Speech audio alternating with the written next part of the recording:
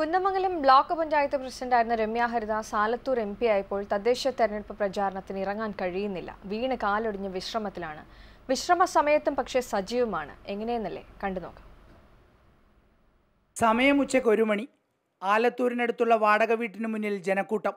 രമ്യ ഹരിദാസിനെ കാണാനാണ് ഈ തിരക്ക്.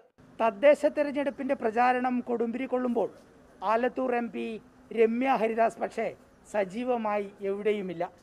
രമ്യ ഹരിദാസിന്റെ വീട്ടിലെത്തുമ്പോൾ നിരവധി പേരാണ് ഇവിടെ ഉള്ളത് രമ്യ ഹരിദാസ് എവിടെയാണെന്ന് നമുക്കൊന്ന് നോക്കാം. എല്ലാവർക്കും നമസ്കാരം. മാസങ്ങൾക്ക് മുൻപ് നിങ്ങളുടെ അരികിലേക്ക് രമ്യ ഹരിദാസിന് വോട്ട് ചോദിച്ചു വന്ന താര ചേച്ചിക്ക് ഇത്തവണ ഞാൻ നിങ്ങളോട് വോട്ട് ചോദിക്കുകയാണ്.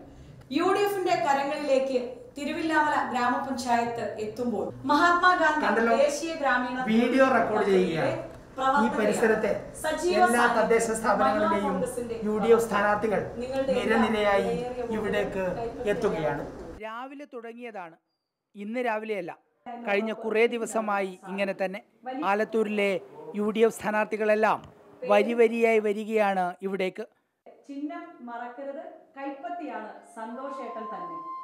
അല്പം ഒരു ആശ്വാസമുണ്ട്. എന്നാലും വലിയ പ്രയാസമുണ്ട്. കാരണം എല്ലാ ആളുകളും നമ്മളെ നേരിട്ട് കാണാൻ വേണ്ടി കാത്തിരിക്കുക.